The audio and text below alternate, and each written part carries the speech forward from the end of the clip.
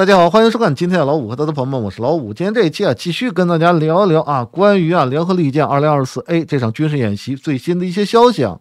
来自美国的众议院啊，美国的两党的这些议员针对这场军事演习都发表了这个看法。这个新闻最有意思的地方在哪里呢？是民主党和共和党的这些议员呢，他针对这场军演发表的看法态度完全不一样。但是无论是共和党还是民主党，他的初心都是啊，想要借着台湾跟中国大陆进行对抗，都是想要保台湾啊，对抗大陆这样的一个初心。可是讲出来的东西不一样。其实啊，从美国这两党的议员的这个态度，大家就可以看到，无论是美国还是台湾，在这个军演面前，他表现的好尴尬呀。那为什么尴尬呢？尴尬的地方又在哪里呢？其实这个尴尬就特别像最近啊这两天，然后啊这个台湾岛内啊有一些特别神奇的一些舆论针对这场军演呢。昨天也跟大家聊了一部分啊，包含什么啊？台湾人无感，台湾的股市创新高啊，对不对啊？你解放军来军演，我股市咔咔咔的涨。哎呀，就这种论调，为什么跟大家讲特别神奇？这种论调为什么跟美国这两党的议员他表现的这种尴尬，他很类似呢？啊，首先跟大家讲上一句啊，台湾人无感，无感就对了。为什么我这样去讲呢？哎，大家听我慢慢来聊啊。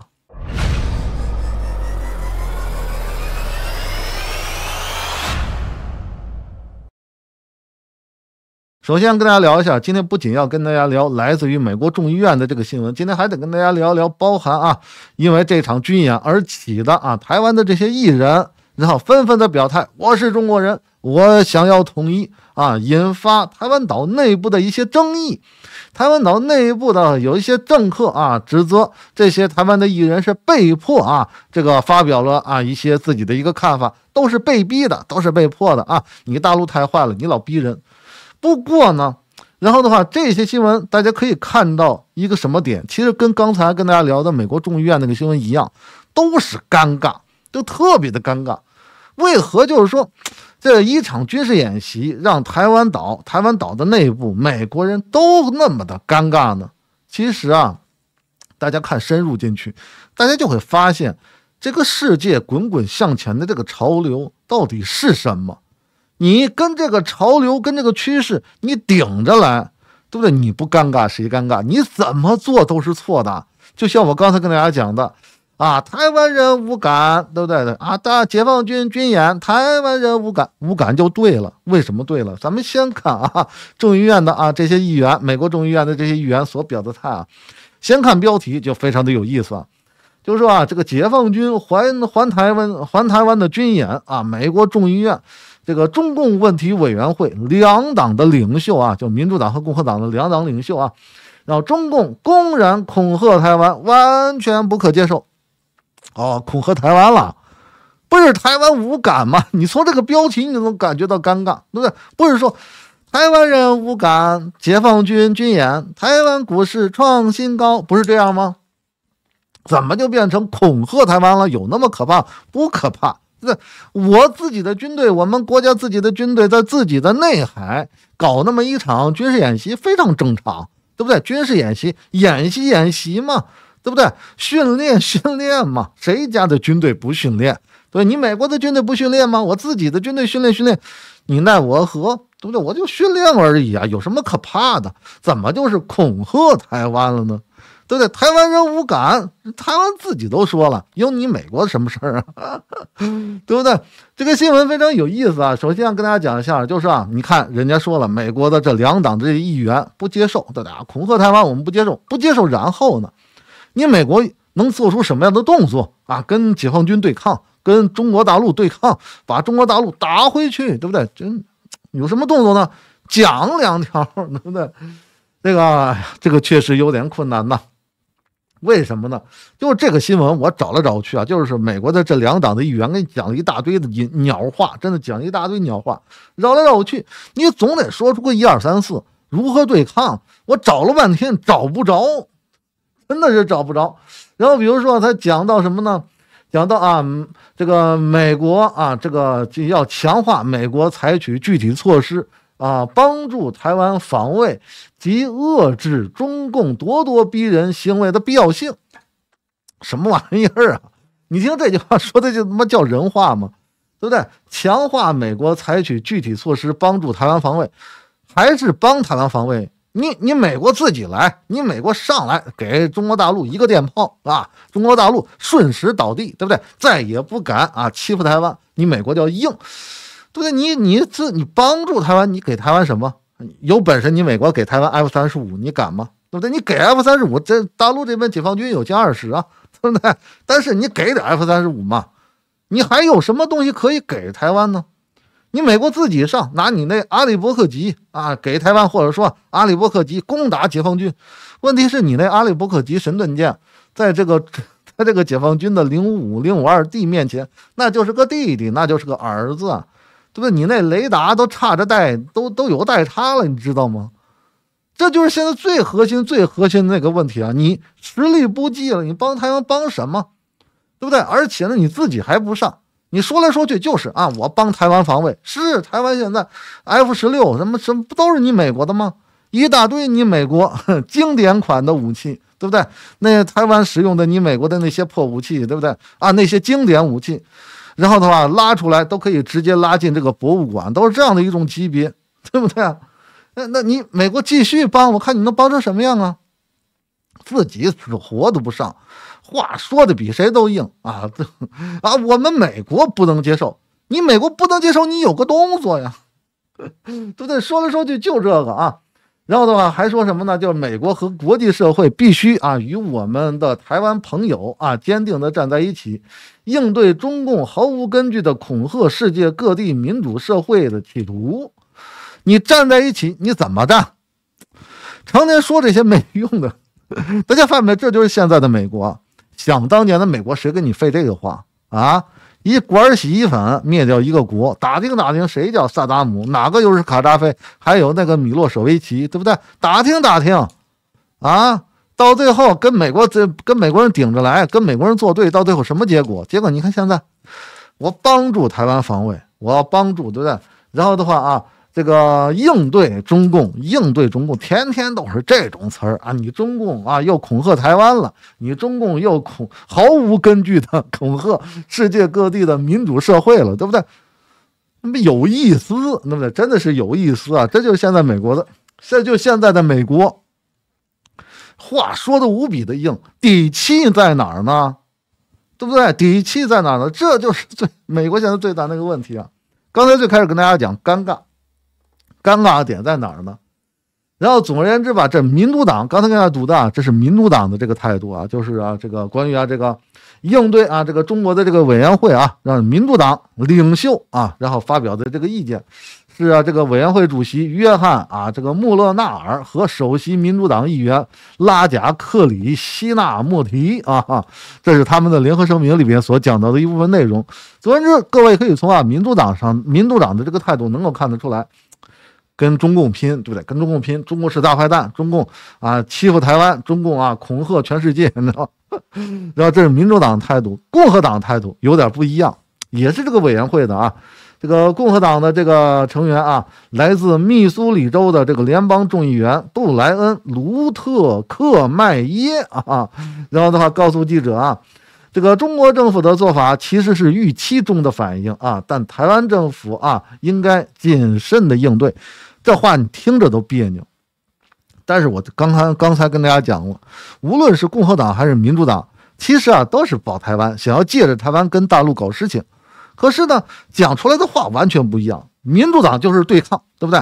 但你不管怎么说，人家说了嘛，我要坚定的站在一起。你恐吓台湾了，你恐吓全世界了，对不对？然后这种对抗的这种姿态，民主党做的特别的足，共和党不一样，共和党讲的是。哎，这可以预期啊！这个解放军有军演，可以预期。而且呢，台湾呢，你得小心，对你得谨慎应对，对不对？你看起来这个话怎么就那么的别扭？为什么跟大家讲？他也是啊，他也是啊，这个这个想要借着台湾跟大陆对抗。为什么？先看完他讲的话，这个卢特克迈耶啊，他说啊，这个所以台湾的所谓的这个赖清德啊，要非常的小心。他需要非常小心的行动、言论和反应，因为中国大陆政府、中共会很仔细的观察他。这个话，很多同学我相信听起来都会怪怪的。为什么跟大家讲他讲这个话是对的，对不对？什么意思？他讲这个话跟台湾岛现在内部讲的话一样。你不要以为他讲的话啊，好像是哎，好像是没有爱台湾，他特别爱台湾，跟台湾讲的话一样。什么意思啊？就是说啊，这个解放军搞军演很正常，就跟台湾现在那个那个那那点鸟话一样嘛，对不对？啊，解放军搞军演，我台湾无感，对不对？台湾无感不一样吗？你搞这个军演啊，无感，你搞这个军演很正常，大家明白吗？可是呢，民主党那边就不行，民主党那边就是对抗，你恐吓了，你吓着我了，对不对？哎，大家没觉得很奇怪吗？很奇怪吗？就是特别的尴尬。民主党、共和党想要干的事情，初心、发心都一样，可是表现出来的形式不一样。问题到底出在了哪里？先讲台湾人无感啊！最开始跟大家讲了，无感就对了。为什么无感就对了？看清楚这些啊，大家就知道他尴尬的地方在哪里啊。无感就对了，对不对？我搞军事演习就是军事演习啊，对不对？我没有说我现在马上就啊打台湾岛，都没有啊。我说的就是军事演习，对不对？大陆这边说的就是军事演习，而且呢，这个在哪儿演习说的清清楚楚，对不对？演习的地点清清楚楚，你无感就对了，别有反应，乖一点啊，乖一点，千万别有反应啊，有反应你你会出问题，对不对？然后呢啊，这个无感无感啊无感，这回无感，下一回我还来。对不对？下回继续嘛，一点点往前推嘛。什么叫切香肠？对不对？对不对？这这这个这个事情啊，这不能说一说大陆啊怎么着就被切香肠了。现在解放军天天切香肠，对不对？赖清德啊，这个说了两句啊，这个无足轻重的话，对不对？在他的就职演讲里边说点鸟话，你说他有什么事儿他都干不了。你说别说别的吧，就说赖清德现在在台湾的立法院里边能干什么事儿啊？对不对？台湾的立法院里边，嗯，这个民进党就是个少数党，现在，然后的话，民众党加国民党，那就是远超啊，远超这个民进党。说国民党一家的这个立委的这个数量都比这个民进党要多，所以你说在这个立法院里边推一点什么我台独的法案，推不出来，为什么呢？起码有一半的反对党，一半多的反对党啊不让过呀。你就看现在台湾的立立法院打成什么样，对不对？什么事儿都干不了，想搞台独，想走立法院，想走法律的途径搞台独，搞不了，只能对不对？说点怪话，说怪话还是小心翼翼的说，对不对？为什么呢？跟大家聊了嘛，啊，说了啊，台湾是什么什么国家？台湾是一个什么亚洲第一个啊，什么同性婚姻的国家？对，跟你玩这种文字游戏，结果呢，回头一看。人家啊，上来这个演讲第一遍第一第一段就讲了什么？我遵守中华民国宪政体制，什么我我带领什么中华民国怎么怎么样，对不对？我我怎么怎么样？中华民国宪政体制，跟你讲中华民国，对不对？跟你讲中华民国宪政体制，啊，你这是什么意思？到底是台湾还是到底还是啊这个中华民国，对不对？你到底是要玩台独啊，你还是啊这个玩这个台湾蓝营的中华民国呀？这个东西啊，特别的有意思，就能够感觉得到赖清德的那个小心翼翼的那股劲儿啊，这个小心翼翼的说两句怪话，说完这两句怪话，什么实质性的动作做不了，想要搞实质的实质的台独，我相信大家了解台湾岛的话，都会知道有几个动作特别实质啊，什么改国旗啊，改国号啊，改国歌啊，对不对？然后的话，你改一个试试。你看，你搞台独，你改改这些东西试试，改这些东西，这个法律上要过，对不对？假如说你要成立什么某个新的国新国家，那还得所谓的这个要搞公投，对不对？然后的话，这些流程哪一样赖清德能走啊？哪一样他都走不了。为什么？他就是个少数党。现在，行行啊，他这搞不了，那怎么办呢？说怪话。说完怪话，那大陆那那 那就啊，你说怪话是吧？你说怪话是吧？演习不就来了吗？演习来是干嘛的呀？那就是一点点往前推呀。而且之前跟大家讲的很清楚啊，实质的让台湾海峡内海化呀，对不对？台湾海峡大家一定得知道，黄金水道啊，台湾海峡黄金水道指的不仅仅是这个台湾海峡西侧啊，台湾岛西侧，台湾海峡这边，台湾岛的东侧。它其实也是黄金水道的一部分，啊，今天最新的消息嘛，这个大陆的海警船然后在台湾岛的东侧也开始执法嘛，台东那边开始执法了嘛，大家就可以看到现在解放军什么意思，对不对？那就实质的把台湾海峡、台湾岛四周的黄金水道这样的一个水域完全控制下来，要的就是执法权，对不对？这个执法权拿下来之后，你赖清德继续啊，继续讲怪话，讲完怪话之后，台湾岛啊。那些特别可爱的网友继续站出来说无感，无感就对了，对，继续无感啊，继续无感。说完无感之后呢，解放军继续往前推，一直推到什么样的程度？现在包了这个乌丘啊、东引呐，对不对？金门、马祖啊这些岛，对，都是包。尤其是乌丘岛跟东引岛啊，这个两三海里这样啊，这样一直转，对不对？然后一直转，包把你包在里边。下一步包澎湖，对不对？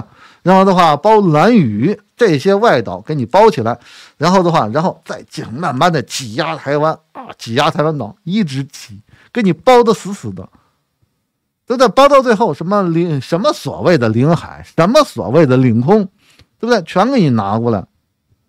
你不是无感吗？无感就对了。之前我讲过，统一台湾没准还有一种另外一种形式的统一，叫马桶。什么叫马桶？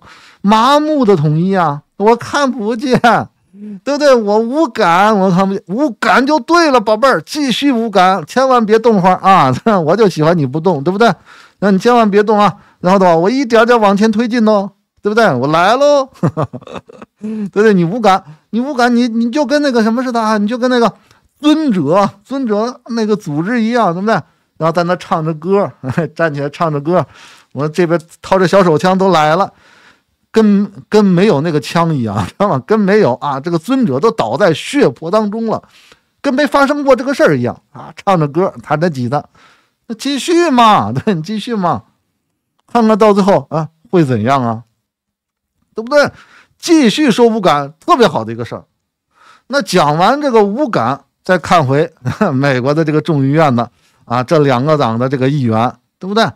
这共和党的议员说嘛，对不对？然后他啊，很正常，很正常。赖清德得小心用语，对不对？这个言论、行动你都得小心，对不对？然后的话，然后为什么他会这样去说？为什么我跟大家讲，他也是啊，想要呢啊，想要支持台湾跟大陆对抗这样的一些人，原因不很简单吗？对不对？不管他这个委员会叫什么名字啊，你从他讲这个话其实一样的，你啊。无感就对了，对不对？因为什么呢？因为你确实弄不过呀，美国也来不了啊。你反应大了，美国来得了吗？你反应大了能怎么着啊？你反应大了，对不对？你跟解放军发生个冲突，发生个摩擦试试，马上，对不对？马上给你气势咔嚓的给你来一顿，对不对？那个时候直接登岛就完事儿了，对不对？所以说无感是没是被迫不得已的那种选择。你从美国的这个议员这个讲这个话就就可以看得出来，很正常。那民主党对不对？为什么要讲对不对？我这这欺负台湾了对不对？你恐吓台湾了，你恐吓全世界了，我跟台湾要站在一起了。那民主党为什么要这样去讲呢？为什么要讲出跟共和党这么如此冲突的这种话呢？这个初心发心一样对不对？都是对抗中国，都是支持台湾对抗中国大陆对不对？全是这种发心，没有任何的一个问题。但是，对不对？民主党做出这些姿态，你得有实质的动作，还是那个事情啊？还是得有实质动作？实质动作什么都没有，难不难受？大家发现没？无论是民主党还是共和党，没有一个良好的办法，无解。要不然就是假装看不见，无感啊，很正常，对不对？要不然就是说点虚的，对抗对抗，你吓死我了啊！对抗对抗，实质动作一点都没有。所以说，大家没发现没？就是你看起来啊，共和党、民主党，然后说的话初心一样，说的话有点矛盾，有点尴尬。但是这种尴尬是如何发生的？归根结底，其实就是两个字：实力。四个字：实力不济。实力强的时候，说什么做什么，说一不二，要你三更死，你绝对活不过五更天，对不对？就像我刚才跟大家讲的，打听打听谁叫萨达姆，哪个又哪个又是卡扎菲。还有那个米洛舍维奇强的时候，跟我美国顶顶着来，你看看你会有什么报应？弱的时候呢，就这种就这种事情了，怎么做都不对。为什么呢？谁让你跟强者作对？谁让你跟啊这个这个这个中国大陆作对？你不开玩笑呢吗？尤其是在台湾这儿，你拿什么拿什么支持台湾？你拿什么跟中国大陆斗？你的船来一下试试。这就是最核心的问题。之前就跟大家讲过，金门炮战的时候，第七舰队在台湾海峡里边。九六年导弹危机的时候，美国的第七舰队在台湾岛的东侧了。然后呢，环台湾岛军演第一次，然后美国的这个航空母舰的编队第七舰队在韩国，第二次在日本，对不对？现在呢，美国美国船你找都找不着了，找不着了。这次军演美国人在哪儿呢？为什么呢？美国为什么越躲越远，越躲越远？实力强的时候，金门炮战的时候，那个美国多强啊！台湾海峡待着呢，这个时候还看不出来吗？看不清楚自己到底几斤几两，就想要跟中国对着干，这就是美国嘛？你对干对干对干的对干的，就是把自己对干的越来越尴尬，逆势而为，跟这个世界的趋势顶着来。你不倒霉谁倒霉？你不尴尬谁尴尬？对不对？然后台湾岛呢？现在啊，台湾无感，无感就对了，继续无感，对不对？还有另外一个啊，台湾的股市创新高。我跟各位讲，台湾股市创新高也是好事儿啊，真的是好事儿啊！我必须得说两句啊。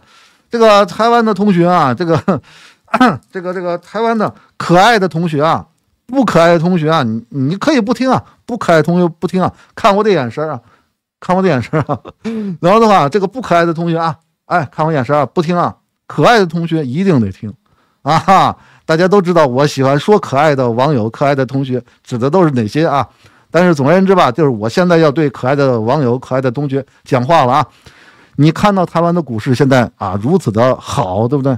冲，赶紧冲，对吧？往里冲，股市涨成这样还不进，这，把房子卖了也得进。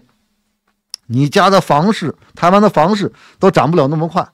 你想股市里边一天不说涨得多，涨百分之一，对不对？这是复利啊！两天涨多少？三天涨涨多少？对不对？赶紧赶紧进股市啊！对不对？台湾股市啊，真的太好了！你看看这个这军演，你放在全世界哪儿？不是，这都是个不好的事儿，对不对？对于这个地区的和平稳定啊，确确实实会有影响。军演这种事情嘛，对不对？啊，这个是这个和平啊，都受影响了啊，稳定都受影响了。股市还能涨，证明什么？证明，对不对？这个，这个，这个涨的这个力度啊，那肯定是挡不住的，对不对？赶紧把房子卖了，也进进你台湾的股市，绝对保你发大财。可爱的同学冲，对不对？不可爱的同学，看我眼神，别动啊，别动啊，对不对？你不可爱同学懂懂懂懂懂了吧？啊，别说了啊。然后呢，为什么要冲？为什么刚刚才跟大家讲啊，台湾的股市啊涨成这个样子，那就对了。为什么呢？嗯，那就是冲嘛，对不对？反正是我就我就是相信啊，台湾现在台湾岛内有哪些新产业嘛？没有新产业，对不对？台积电，台积电，美国人都想要，对不对？美国人都要弄到美国去了。然后，其这个这个五月九号、五月十号的新闻，美国商务部长雷蒙多人家都说了嘛。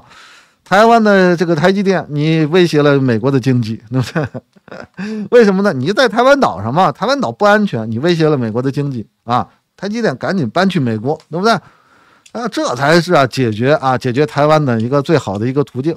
台积电搬去美国，好事儿，台积电发大财，对，事业越做越大，台湾岛。台湾台湾岛呢？台湾岛的事，台积电好，对吧？台积电好就好了。台湾台积电好了，台湾人每一个人都都有荣光，与有荣焉，与有荣焉，对不对？每一个人啊，都都都能够感受到那种光荣。台湾 number one，对不对？这就对了嘛。对不对？你说啊，什么台积电从台湾岛搬走了，不交税了，不在台湾岛交税了，也创造不了消费了，对不对？也不在台湾招人了啊，对不对？台湾的工程师啊，这然后的话都这这都都可能要失业，因为你要去美国，你得招美国的工程师嘛，对不对？哎呀，这这个这个这个事情，光荣就行了，台湾 number one 就行了嘛。然后台湾的经济会受影响，因为少一个产业啊，我相信台湾的会好。就会好，台湾的股市涨 就好了，对不对？我就相信台湾这个岛各个行业都没有一个啊特别好的一个向上趋势的时候，台湾的股市往上去涨，对不对？我我就相信涨的就是对的。怎么了？你跟谁跟我说什么台湾的哪个行业哪个行业不好，对不对？台湾没有什么新兴的行业，台湾的这个芯片制造业都要被美国人弄走，然后呢跟我说啊，这个对于台湾经济不好，我不信，对不对？我就信台湾的股市，我就相信台湾的股市。谁跟我说啊，台湾的这个进出口百分之三四十依赖着中国大陆，对不对？得罪中国大陆啊，对于台湾的这个出口没有影响啊。我就我就相信这个，我就相信台湾的股市。你给我讲什么影响？你给我讲什么百分之三四十的这个出口的依赖？我就不管，不听，真的不爱听，就不爱听。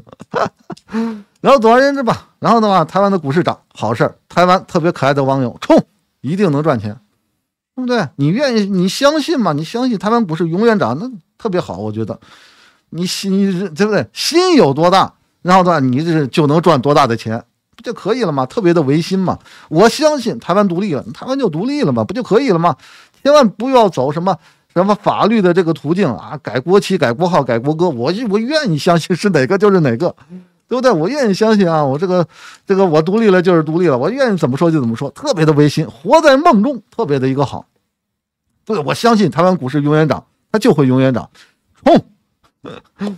然后的话，刚才跟大家聊了，还有另外一个新闻，那就是台湾的艺人啊，其实也特别的尴尬呀。这个新闻就是台湾的艺人表态啊，我是中国人啊，那我想想要统一。结果呢，台湾岛内的这帮政客啊，有些政客在那说啊，然后的话啊，这个你逼迫台湾的艺人啊，这个被迫表态。首先啊，为什么跟大家讲尴尬？就是说，你真的是啊，其实跟那个美国的这个议员一样，就是你看不清楚这个世界的趋势，对不对？为什么叫看不清楚这个世界的趋势啊？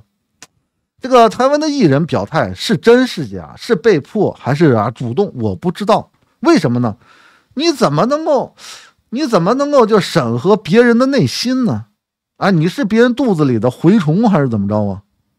对不对？你怎么能知道别人心里到底是怎么想的啊？对不对？然后的话，你怎么能够知道明啊人家到底是啊出于一个什么样的原因说出这个话？你怎么知道的呢？你怎么知道他到底哪句话真哪句话假？有些东西可能会说了，比如说五月天啊，说我是中国人。五月天在台湾岛内那是台独啊，对不对？他们家就是台独的，他们家是台独的，他自己就不能有别的想法，对不对？没准在台湾岛说的那个台独的话都是假的，哎，来了来到了大陆说的话是真的，我怎么知道？我也是猜的呀。那我不能说他说的某某一句话一定是假的吧？我也只能说我猜呀。就像那句话说的那样嘛，“论迹不论心”嘛，对不对？论心，世上无完人。你真的论心，你真世界上找不着这个好人了。嗯，多多少都有点问题。谁没点小心思？谁心里没点小九九？谁不会打两下小算盘？对不对？论迹不论心，人家这个迹表现的很好。你猜测别人的心，无稽之谈，对不对？台湾的这帮政客这种表现为什么叫尴尬？首先，如果你说台湾的这帮艺人说的是假话，被迫的是吧？那你是在给这帮艺人找麻烦是吗？啊，你是在给这帮艺人找麻烦吗？哦，撒谎，公开撒谎。那公开撒谎，未来你说啊，那不说别的，他在大陆的这帮粉丝怎么看他们？无论是五月天还是蔡依林，对不对？这一波都表态了。然后的话啊，然后的话，你说他们是撒谎的，你说这帮这帮艺人，他这个粉丝会越来越多还是越来越少？这是一个非常简单的一个答案。你这坑别人兜里的钱，你知道吗？台湾的这帮政客，你说的这这些鸟话，你说有什么用啊？到最后，你没准儿台湾的这帮艺人就得出来说，我说的是真的，还得跟你顶着来，对不对？到最后，你你什么你也挡不住，你什么也拦不住，对不对？就是啊，这个自己小嘴一咧，对不对？我我觉得他是啊，这个是被逼的、被迫的，就是被逼，就是被迫，对不对？然后的话，那有有一些啊，就算有人说假话，咱们就当这里边人有人说假话，那有人说真话吗？那说真话的人，这些人怎么办呢？就是为什么？你看清楚这些这些，为什么台湾的艺人表态现在越来越越直接？你看看五月天表的那个态，那简直在演唱会上就就是跟我那歌迷聊天儿。对不对？然后说我是中国人，我想要吃烤鸭，对不对？我我来北京，我来北京最爱吃什么？大家猜，对不对？然后的话啊，我我想吃烤鸭，我要吃烤鸭。我这豆汁儿我没没尝过呢，跟你聊这些，对不对？表现都特别的一个自然，为什么？这也跟趋势相关。他指望着你台湾岛，他这后半辈子跟谁赚钱？啊，跟谁？这帮艺人，每一个艺人都一样。他的这个艺术生涯都不长，对不对？你一般的一个公务员的一份工作吧，你能干到退休，你能干到六十岁，对不对？这帮艺人能干到多能干到多少岁啊？当然了，你有刘德华这样的，对不对？能干到他妈六六六七十岁了都还干，有有这样的。但是大量的艺人，在四十岁之后，他的事业必然是啊处于一个下滑的一个区间，对不对？这个下滑的区间，四十岁之后就不赚钱了，人家也得结婚，也得生子，人家也得为了自己的孩子来来来点产业，对不对？然后呢，人家也得趁着自己事业下滑之前多赚点钱，啊，指望着台湾人家能赚这个钱吗？不来大陆，啊，然后的话就就就就有钱赚了，对不对？台湾的艺人全都是啊，这不全都是啊中中华文化圈的吗？这全都是中华民族这个圈子里边的吗？不是炎黄子孙啊，谁理你啊？说的话你难不成说的是外语吗？中国人都能够听懂的中国话，说的全是这些呀，对不对？就是因为大家是同文化、同根源，你才有资格在大陆赚钱嘛。你不然你去美国赚呢？你让这帮艺人去美国赚，去日本赚？你看日本人给他给他花多少钱，对不对？你指望着日本的市场去活呀？或者说你有你有出息，你有本事，把台湾的经济做得特别的好，对不对？在台湾赚的钱那是大陆的十倍。你看这帮人还还跑到大陆这个这个跟讲这些话吗？那台湾的市场可不敢得罪啊。如果台湾对不对，能够在台湾赚的钱超过这个大陆的十倍，那台湾这个市场人家敢得罪吗？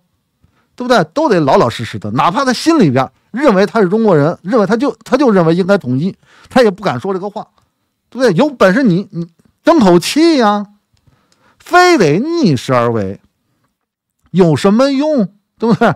反正就是在这儿唧唧歪唧唧歪，扭扭捏捏，扭扭捏捏，给你搞出这些事儿，什么都改变不了。对不对？